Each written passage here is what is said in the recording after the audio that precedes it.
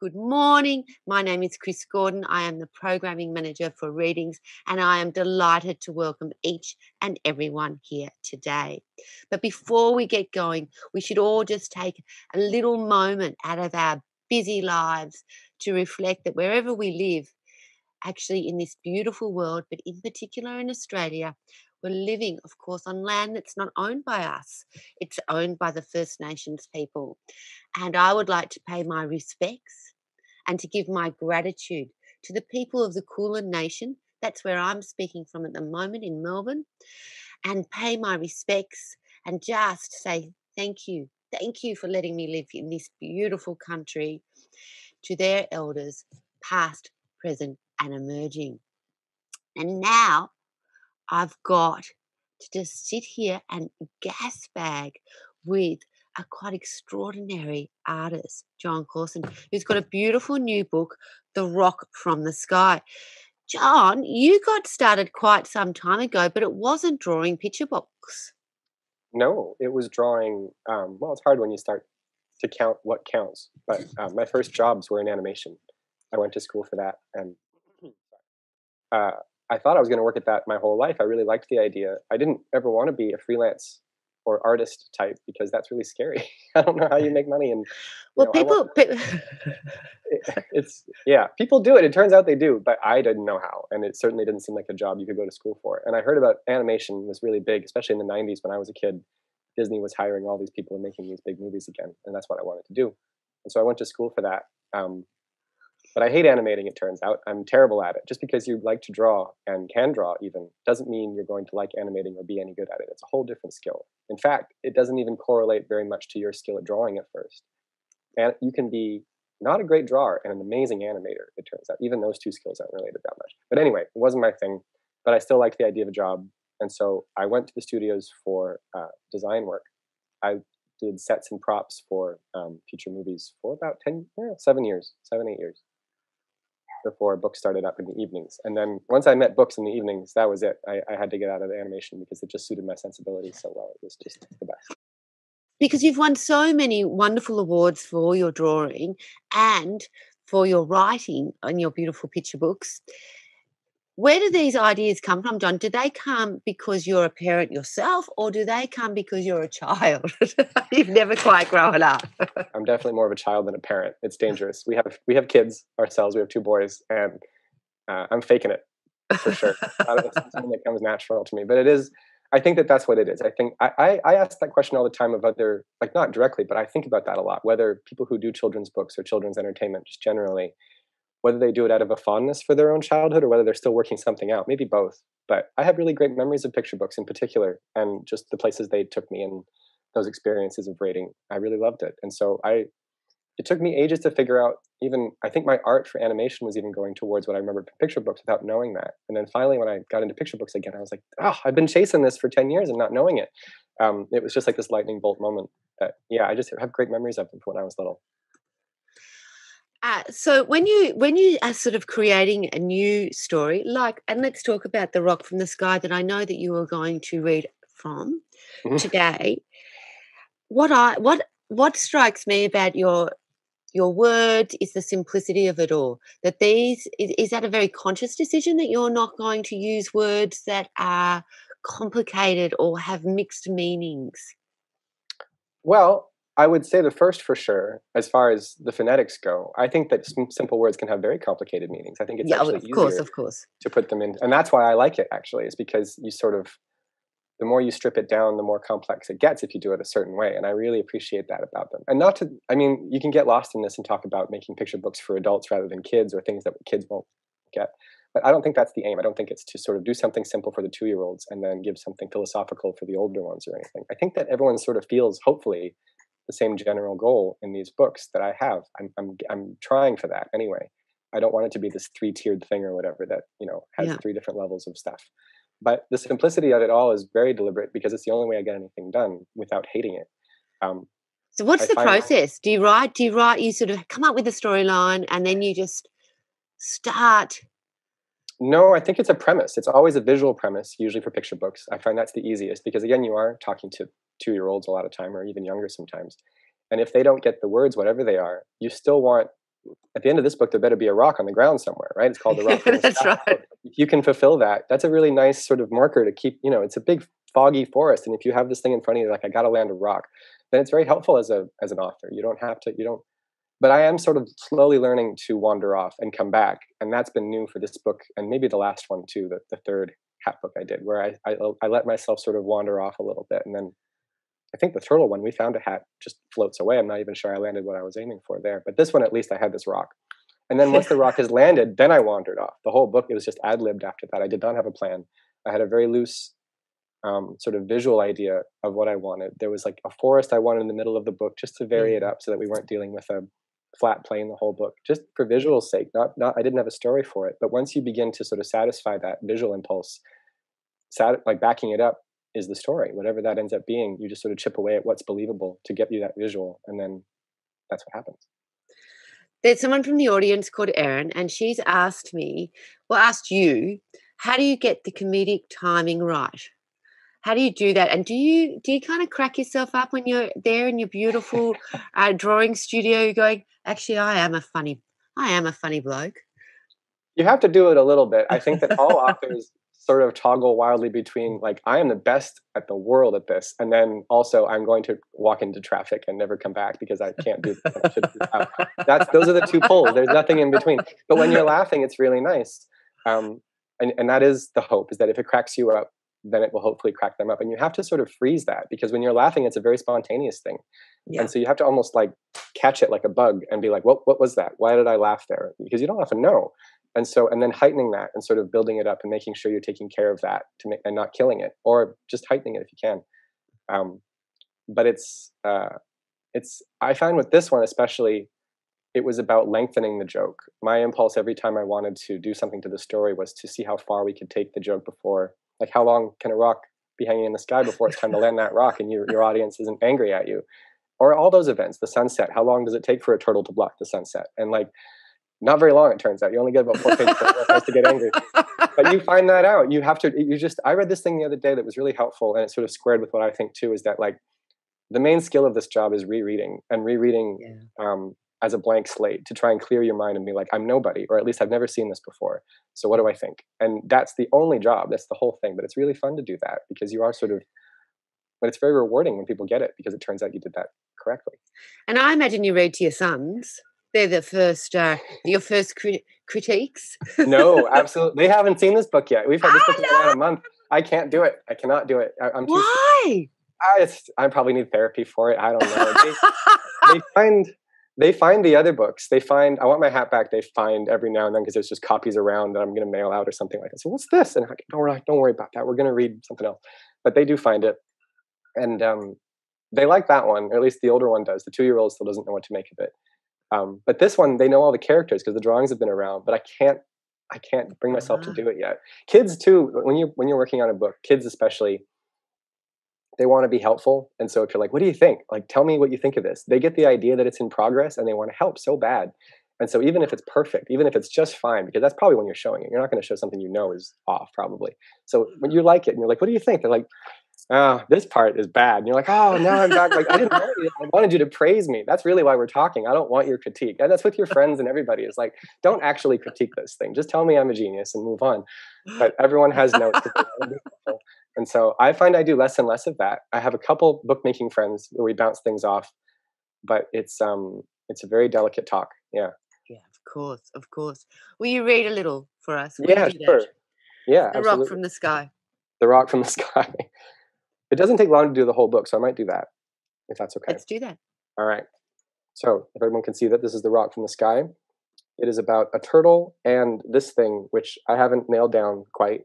Uh, I know this is actually a tortoise. He's not even a turtle. And this thing is some sort of a cross between an armadillo and a mole. But I'm going to say turtle and mole just because phonetically it just seems smoother. And that's that. I'm on this side of the Zoom. that's what we're going to do. Um, so here's the first page, this giant rock sort of falling and the title page with the same title. Now, this book has uh, five stories, and each one of them has a title page like that. And this first story is called The Rock, and there's nothing on it but a little pink flower at the bottom. And here comes our turtle to stand next to the flower, and he says, I like standing in this spot. It is my favorite spot to stand. I don't ever want to stand anywhere else. You know what's great too is that I am Canadian, but I live in California, but I got a Canadian edition to read to you guys, so the spelling would be right. And now a giant rock is above this turtle somewhere, falling. There's little pebbles that I had to put in there to make sure they knew it was falling. I didn't want those pebbles. I hated drawing those pebbles, but they needed to be there for storytelling purposes. Now here's the mole. He's entered the scene, and the turtle is still where he was. And the turtle says, Hello. And the mole says, Hello. What are you doing? And the turtle says, I am standing in my favorite spot. Come, stand in it with me. Okay. So now the mole has moved closer to the spot, and they're both standing in it. And the turtle says, What do you think of my spot? And the mole says, Actually, I have a bad feeling about it. A bad feeling? Yes. And now the mole points to a spot way over there, way far away at the other end of the thing. And he says, There is another spot over there. Do you see it? Yes, I see it. I will go and stand in it to see if it feels better than this spot. So the mole goes over there. And now he's standing there. The turtle is standing there. And the turtle says, How does that spot feel? It's all in caps, so you know. And the mole says, I cannot hear you. You are too far away. I am going to come back. Now the rock is still falling. No words on this page again. So the mole is back, and the turtle says, Does this spot still feel bad? And the mole says, Yes, it feels even worse than before. I am going back to the other spot. Do you want to come with me? The turtle says, No, I will stay here. This is my favorite spot. The mole says, Are you sure? And the turtle says, Yes. So the mole goes back to that spot, and he's looking pretty sad about it. And the turtle, it's hard to say. He's just looking at his flower. But, but here comes a snake into the mole's area. The snake doesn't speak in this book. He shows up a couple times, but snakes scare me very badly, so it was enough to put them in the book, much less give them a voice. And the mole says, Oh, hello. I am standing in this spot by myself. Come, stand in it with me. The turtle's way over there, sees these two hanging around by the new spot, and he says, My spot is better. And the mole says, You are too far away to hear. The turtle starts to walk away from his spot towards the other two. And he says, I am coming closer. And the mole says, We still cannot hear you. And the turtle makes it all the way over. And he says, My spot, I said my spot is better. Now, of course, is the only time we can land the rock. And it falls on the turtle's spot and destroys it. And they look very surprised about that. And that's the end of the first story. This is the longest story, just so you know. It won't be like that for all of them. Second story is called The Fall. And now it's been it's been a little while. Hard to say if it's the same day or next day or whatever, but it's been a little minute. And the turtle has found a way to climb on the rock, as you would, probably. But only for now, because the first page of the story finds him on the ground, upside down, and the mole finds him there. And the turtle says, Hello. And the mole says, Hello. What happened? And the turtle says, Nothing. And the mole comes closer and he says, Were you climbing on it? And the turtle says, No. Did you fall off? No. And the mole comes around and he says, Do you need help? And the turtle says, No, I do not need help. And the mole says, Okay. I never need help. Okay. So the mole sits down, and the turtle says, What are you doing? And the mole says, I came to take a nap. It's nice under here. You can take a nap too if you want. There's just enough room for two. And the turtle says, No, I am not tired. And the mole says, Okay. And the mole closes his eyes. And the turtle says, I am never tired. And the mole says, Okay. And now they're both asleep, taking a nap under the rock. And that's the end of that story. I almost called that story The Seven Lies, but the publisher didn't really like it. They thought it was bad. All right. This next story is called The Future. There we go. Okay, so the mole is sitting on top of the rock with his eyes closed, looking very serene, and the turtle finds him there. And the turtle says, What are you doing? And the mole says, I like to close my eyes and imagine into the future. And the turtle says, Are you doing it right now? And the mole says, Yes, come, close your eyes and do it with me.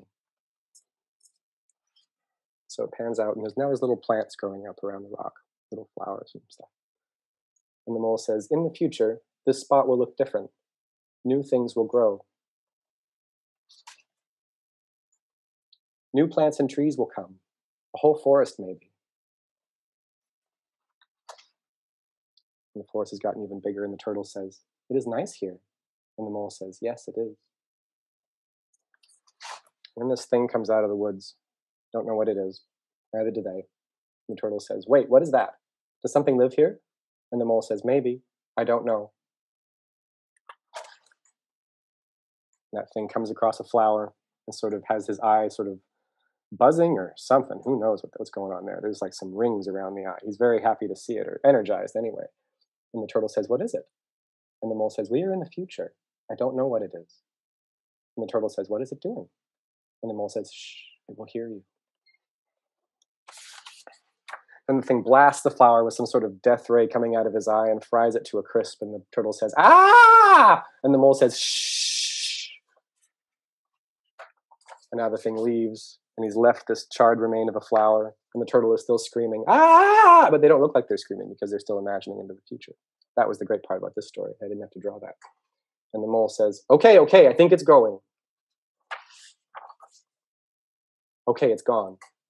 The turtle says, I don't want to imagine into the future with you anymore. That's the end of that story. Fourth story, we're almost there. It's called The Sunset.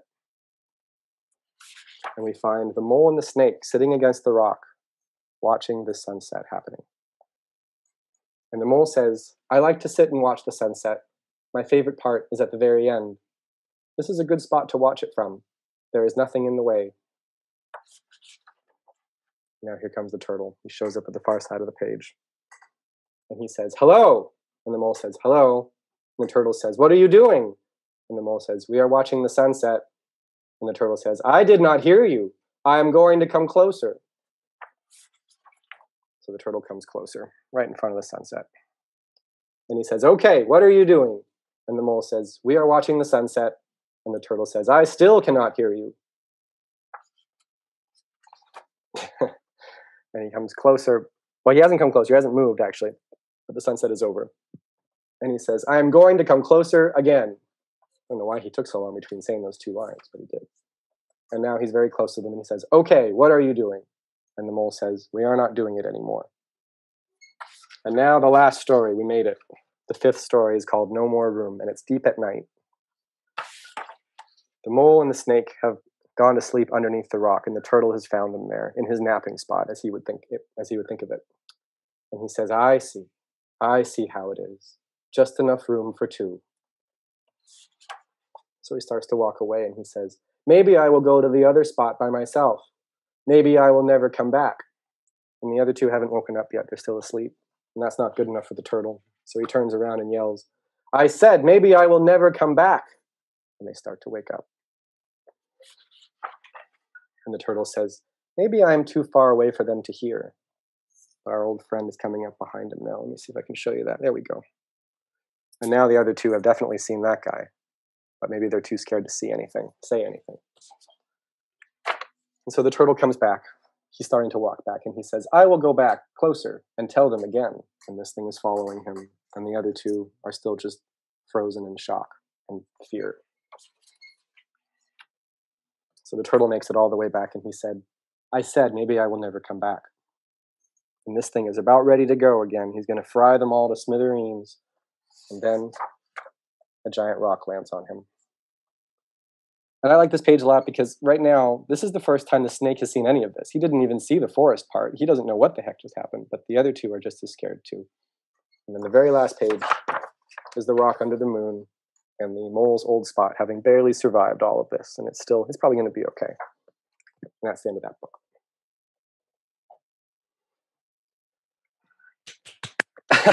Thank you. so, such a beautiful story. Such a beautiful story. but what I want to know is if you had to be one of those characters, you're clearly not the snake. Um, I don't know. There's an obliviousness to him that I relate to. Certainly, he doesn't know what's going on at all, and that's how I feel most of the time. I don't um, believe that for one. No, it's this. That's very true. I think that this book has a compendium of who I am in different relationships, right? I think that depending on who you're with, you are the turtle and you're just jealous and angry all the time over something in the setup. And then other times you're the mole who doesn't want to say anything to maybe break this not very rewarding thing that you're in anyway. And then other times you're the snake who doesn't feel like he has any business anywhere, but he's pretty chill about it anyway because no one seems to be asking him to leave. I don't know. I don't think that, yeah, I think that when I wrote it, uh, it felt like the only sort of move I knew was to make the turtle. I didn't know how to get him out of there at first. That first story, when he introduces himself and he says, I'm going to stand right here, and then we have a rock, I must have spent months trying to get him out of there. I didn't believe any reason he had for leaving. He says, This is my spot. Yeah. And the only time it worked was when the snake came out and made him jealous. And then I was like, oh, interesting. So now he likes this mole. He's treated him very badly the whole story, kind of, or at least not with very much care. And suddenly, the only thing to move him is this threat to his relationship with this mole. And so then I knew I had a book. I had four more, at least a couple more stories in it, um, because that was the only thing that believably moved him. Until then, it was sort of a boring story about the mechanics of moving out of the way of a rock. Didn't really grab you. So, which one do you enjoy drawing the most? The turtle, the rock, the mole, the snake, the plant, the future, oh. which is actually terrifying. And where did that inspiration come from? I like drawing the rock best, but a close second is the turtle because I do like eyes. I, I rail against drawing characters a lot, but that's just being snobby. I do like drawing characters, and the, and the turtle you can screw him up all sorts of ways, and he still looks like a turtle. So that's my favorite guy to draw. Um, a rock you can screw up a lot too, and it still looks like a rock, but there's just nothing to grab onto unless he's falling on a turtle.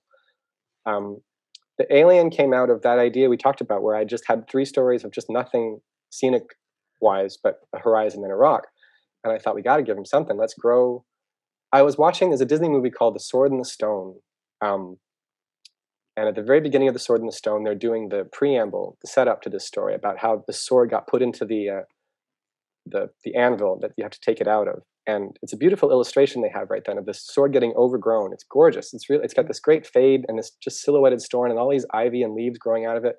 And I just thought that's the moment I, w- I want this thing to grow somehow. I want that to be going around the rock and some trees. Let's just do that. I don't know how to get there. And I started writing the story, and I got to the page where the turtle says, "It's very nice here," and the mole says, "Yes, it is." And they were thinking what I was thinking, and I was like, "What have I done? We got this is the end of the story. I got nothing." And then it just that guy just walked out. Like that's the best stuff that happens in stories is that you just there's no other way to explain it, and it sounds really artsy. And I don't think I believed in it until it started happening with my stuff. But some things just walk out on you, and you don't really know where they're coming from, and you can make you know smart sounding comments about it later. But I just thought, mm-hmm. you know, we, we got to ramp it up. And what's the, what also what are kids are going to like? You know, kids are going to like. Hopefully, that was my impulse. There was like, we've asked a lot of them. Those two guys just spent six pages going down for a nap our three year olds are upset. Let's give them a one eyed alien that fries things to sort of get them back a little bit. And so that was the idea. A lot of it was. You're like the uh, Waiting for Godot of the children's books. like something, something's got to happen. that was the, I mean, that was a huge inspiration for sure, is that play. And that's mm-hmm. always been, his writing has always been very big for me because of how yeah. little he needs to do what he's doing. Yeah. This is a Samuel Beckett play for those that don't know. And it's about two blokes that are waiting for something.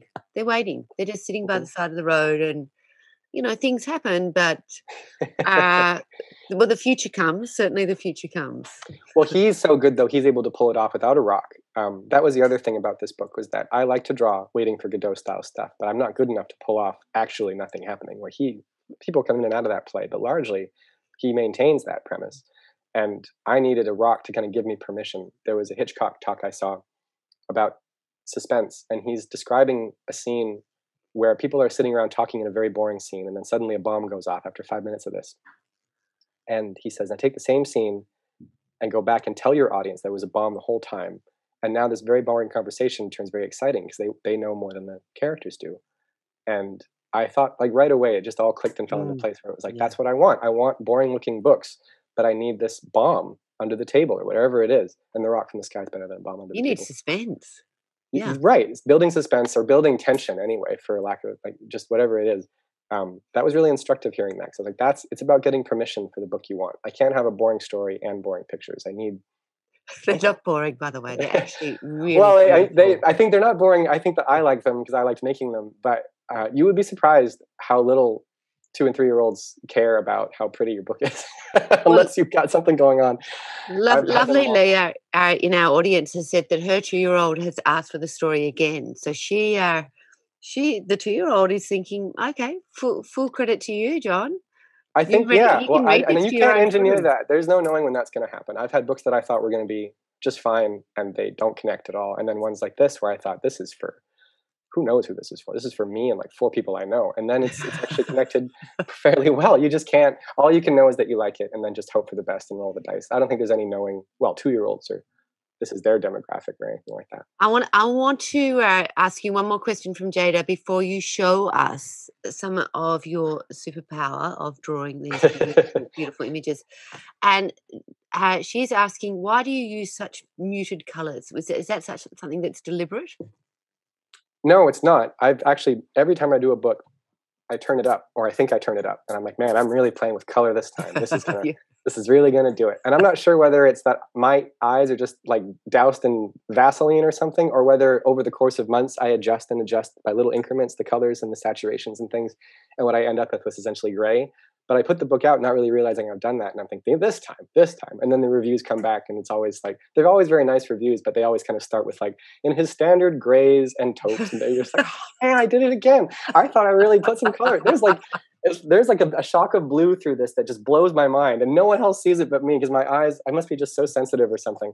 But no, it's not deliberate. I, I think that that's um, that's very informative actually because I, I hear that from people, but it's not my idea, and that's a really big sort of deal about talking about your style or whatever it is. Is that I think you're largely out of control of your stylistic choices. I don't think that. I think you got to try and do it straight and just try to tell the clearest story you can. Um, and your style's already weird. My eyes are already just completely spoiled. Well, with- Getting a few questions about your eyes, actually. A lovely Leah has said the way that you draw your eyes are seemingly simple, but they pack so much into it. Uh, do you have a wall of eye illustrations? No, is- the, that- that is no. that would be quite spooky, I think, with varying angles of eyeballs to convey a feeling. Can you imagine walking into that room? I actually be- don't like. Yeah, I would. I wouldn't like it. I don't think there was something I always in such a good animation question. school. Go to animation school. One of the jobs is to do um, expressions. So you have a character, and they're like, "All right, here's your main character for your film, your hypothetical film you're going to make someday. Put put him in various emotions. Make him sad, make him angry, make him happy, whatever these things are." And I never liked that assignment, partly because it's very hard to draw that assignment, but also I had an intellectual problem with it. At least I told myself I did, where it was like these are unearned. If someone is sad because they lost their lunch versus being sad because their friend ran away. That's too different. Like sad isn't sad. Sad is a thousand different things.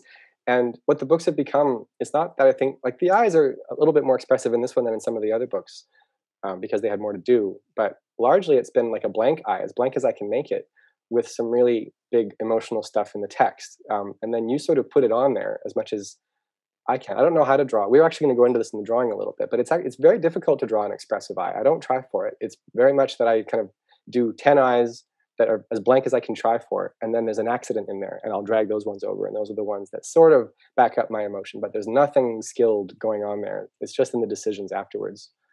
Show us, show us. All right, all right. We're gonna. This is. I, I've also um, because I'm on the laptop. I'm using my trackpad with my finger to draw, and so it's going to look like that. I'm going to look a little bit off, and that's just how that's going to go. Okay, so you can. You guys can all see that. We can. Okay, great. We're going to draw the alien, I guess, because he's the clearest as far as eyes go. Um, so, how I usually do roughs for the books, I don't draw very much for the finals in computers because it prints it weirdly. It looks fine on the screen, and then you print a computer drawing, at least I do, and it just everything falls apart. It looks really dead. Um, and so I draw everything for real on my desk with markers or inks or oh my goodness, see there we go. There's my trackpad. Uh, so all the characters in this book were drawn actually with Crayola markers, just a really cheap brand. They might have them over there. I don't know, but um, they're like Target brands. You get them twenty for ten dollars or something. And I like the cheap ones because they leave little bits behind. And I didn't used to like markers because I didn't know how to use them. But there's this illustrator pal I have in Canada who's getting better and better known for a very good reason, named Sydney Smith. And Sydney, oh, see, I gotta fix that. Sydney does these beautiful paintings, and they're full of texture and motion and life. And he partly gets that because he paints very small. He paints on like postcard sized pieces of paper and then scans them at really high resolution and prints that out on the book. And it's such a good trick. It changed my mind about so many methods or like tools that I thought weren't for me. Just the size that you work at, sort of markers look so much better when you draw the characters like a few inches tall versus trying to draw them at full size. Um, it was such a great trick. And so all the characters in this book were drawn with marker. Um, and so we're going to color him in. I usually have more access to textures on here, but because it's a trackpad, uh, they don't have textures. But that's, well, maybe they do. Maybe we can do that. That's something. It's not my favorite texture, but we can live with it. Um, I'll make it bigger. There we go. So here's our alien. We fill in that selection tool. The alien drawings, as a fun fact, is that I didn't really know what I wanted out of him. I had a bunch of different ideas for what a quote unquote alien should be. And I didn't really know. I don't know why I didn't know. This is a pretty obvious one. But I was on a plane.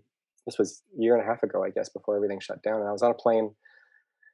Um, and I finally, I was just, I had my markers and my sketch pad in my backpack, which I never do. I don't usually do that. But for some reason, I was nervous. I wasn't figuring this out. And so I was holding it and then I just thought of like the War of the Worlds alien. That was all he needed. That was sort of universal thing. And so I drew a bunch of drawings of, of this guy on this plane. I think I drew like 20 of them on this page. And I looked crazy. I looked like a crazy person on the plane. And this guy next to me who hadn't talked to me the whole time looks at me and he's like, what, what are you, what are you doing over there? And I didn't really have, I didn't really even know what he was for yet. I had sort of the story, but I said, um, this is an alien for a book I'm working on. and I just, you know, you can hear that in your own head and he didn't talk to me again after that. He's out there. I understand why you didn't. Um, but the drawings that are in the book were the plain drawings. I just scanned that sketchbook in when I got home, and those are still the ones. Um, okay, so we have our red eye, and now the important part here is the pupil, and that's the part you're asking about because what we do with the pupil, it's not even the eye shape. This shape here isn't very important, it turns out. It's a little important. There are small changes you can make, we can see, but the pupil is most of it. And um, for instance, if we do, excuse me, if we do a pupil with space around it, oh, that's terrible. Let's do it again. My poor finger. Okay, so there. And then we color that black, like that. So there's lots of information there already. That was those are really quick motions without much thought. But if you sit there and look at what you drew, you're like, wow, this could apply to any number of things. Because there's space around his pupil, he looks a little surprised his eyes aren't very tall above the pupil, and so he doesn't look too surprised. But he's not. If we um, if we make his pupil bigger, we'll see the change right away, or even like that. See now he looks a little bit annoyed because his pupil's hitting the top of the eye. We haven't changed anything. We've only grown this thing in a really crude way. Um, and if we grow it some more, now he's looking right at us and he's challenging us. Sort of. It's an aggressive look, and we haven't changed anything. This was a this was a finger drawing.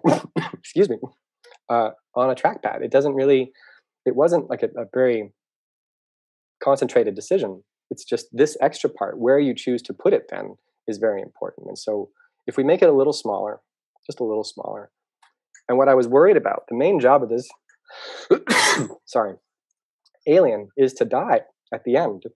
And that's a very tricky assignment because you can't make him very much of an emotional being then. He he's not allowed to have a lot of pathos because you're going to kill him and you need to take care of your audience that way um, if you make him too emotional or give us any sort of attachment to him you're going to be bummed out at the end when he has to have a rock fall on him and so that was the only kind of condition in his eyes was to sort of if there was excitement or something it had to look kind of like dumb expression like there wasn't a lot of pathos in it but even when you move the eye around, even when you're just doing this and having him look around and sort of now we're getting to know him just by virtue of watching him. There's nothing he does or being good or looking angry or something. And if you want, you know, we can do this thing where uh, when he looks excited to see the flower, we sort of remove the bottom eyelid a little bit like this.